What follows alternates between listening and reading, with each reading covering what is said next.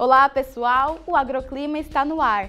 Neste domingo, destaque é de tempo firme na maior parte do país, ainda sob o efeito da massa de ar seco.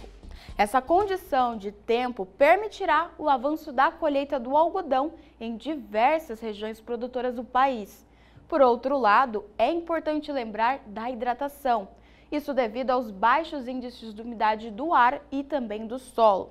Quanto à chuva, só deve cair no litoral nordestino, na faixa norte da região nortista e nessa parte azul aqui do mapa, que pega desde o leste de Santa Catarina, a região sudeste e também o centro-oeste.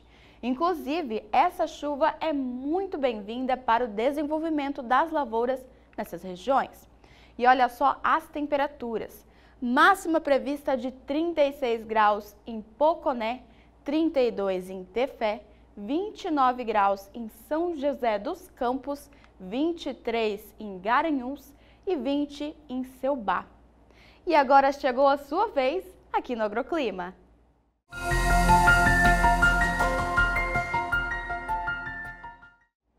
E vamos conferir quem mandou mensagem aqui pra gente. O Antônio Pileg quer saber como fica o tempo em Pérola, no Paraná. Antônio, obrigada por acompanhar as nossas previsões. Aí, em nossa cidade, teremos pancadas de chuva neste domingo de forma irregular. Já na segunda e na terça-feira não chove e o sol aparece entre nuvens, enquanto que as instabilidades retornam na quarta-feira, mas com baixos acumulados. A máxima para hoje fica em 24 graus e a mínima de 14 graus. E o José Félix sempre manda mensagem para gente e também quer saber como vai ficar o tempo na cidade dele. José, agradeço sua participação por aqui.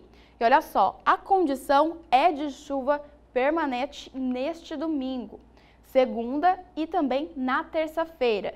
Já na quarta-feira, o tempo melhora e o sol aparece. A máxima para hoje fica em 24 graus e a mínima de 15 graus. E você também quer participar aqui das nossas previsões? É fácil. Mande uma mensagem para o nosso número o 67 99264 7810. Ou então, comente aqui embaixo o seu nome completo e também o nome da sua cidade. A sua participação é sempre muito importante para a gente. Bom domingo para vocês!